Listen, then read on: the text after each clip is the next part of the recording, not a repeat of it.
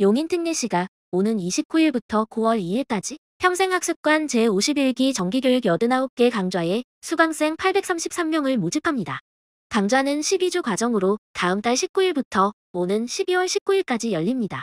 한식 조리 기능사 등 조리 분야 21개 강좌, 헤어 미용 자격증 등 헤어 뷰티 분야 6개 강좌, 양장 기능사 등 기술 실용 분야 11개 강좌, 컴퓨터 활용이급 자격증 등 정보화 분야 9개 강좌가 마련됐습니다. 또 영어 회화 등 인문 교양 분야 14개 강좌와 독서 논술 지도사 등 직업 능력 분야 10개 강좌, 수채화 인대생 등 문화예술 분야 18개 강좌도 진행됩니다.